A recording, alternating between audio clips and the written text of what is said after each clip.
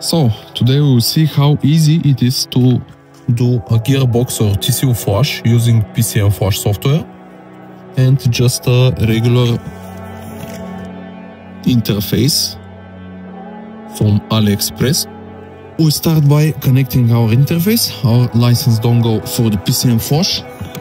Connect the interface to the OBD port of the vehicle.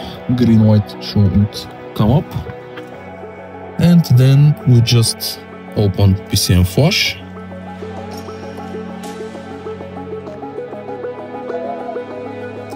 Then we select the ECU that we're going to flash, in this case it's the Zero BK gearbox.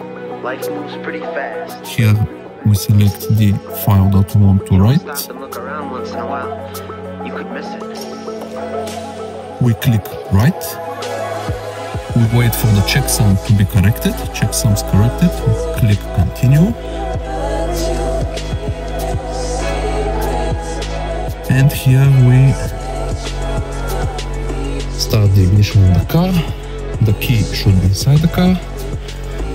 We click OK on the next window and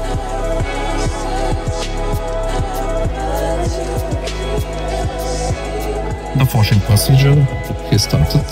We have different warnings on the dashboard, which is completely normal. Currently the gearbox is disconnected from the rest of the vehicle and told of the related ECUs that expect a communication with it.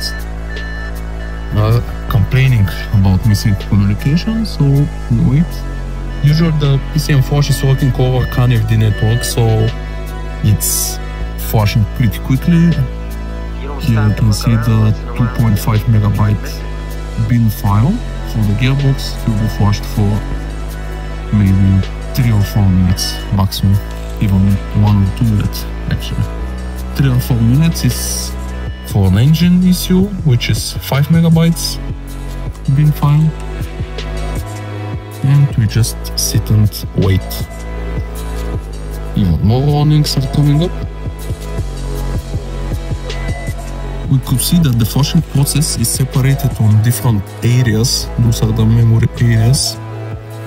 For every ECU, there are different amount of them. There are four areas for the gearbox, five areas for the engine ECU.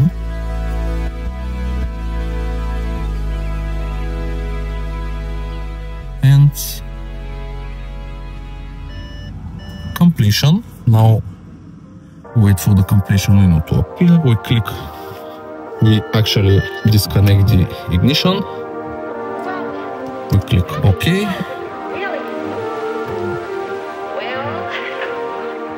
We close this window, then it's always a good idea to turn on the ignition, turn off the ignition, turn on the ignition again, and then we click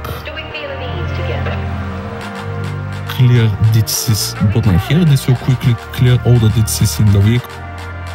Available, completed, and now we turn off the ignition.